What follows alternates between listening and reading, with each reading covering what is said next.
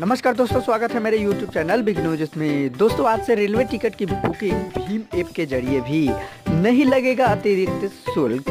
जी हाँ cashless transaction को बढ़ावा देने के लिए इंडियन रेलवे अब अपने ग्राहकों को भी भीम ऐप और यूपीआई के ज़रिए पेमेंट करने की सुविधा भी प्रदान कर दी है।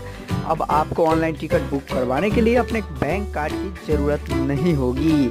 इसके लिए आप सरकार के भीम ऐप और यूपीआई द्वारा भी पेमेंट कर सकते हैं। यह सुविधा 1 दिसंबर यानी कि आज से लागू हो जाएगी।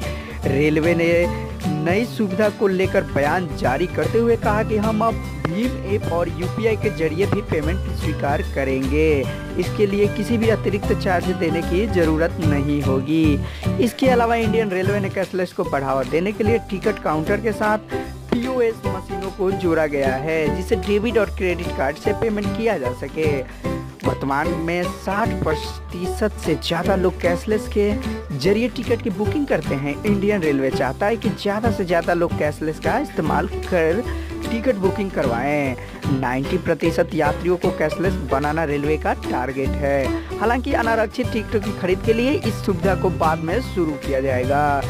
को राष्ट्रीय भुगतान निगम ने विकसित किया है। इससे अन्य भुगतान ऐप को भारतीय राष्ट्रीय भुगतान निगम ने विकसित किया है। इससे अन्य भुगतान ऐप से भी लेन देन किया जा सकता है। तो दोस्तों, कैसा लगा आपको न्यूज़? अगर न्यूज़ अच्छा लगा हो तो लाइक करें। कोई भी सवाल या सुझाव हो तो कमेंट करें। और हमारे चैनल को सब्सक्राइब करना बिल्कुल ना भूलें।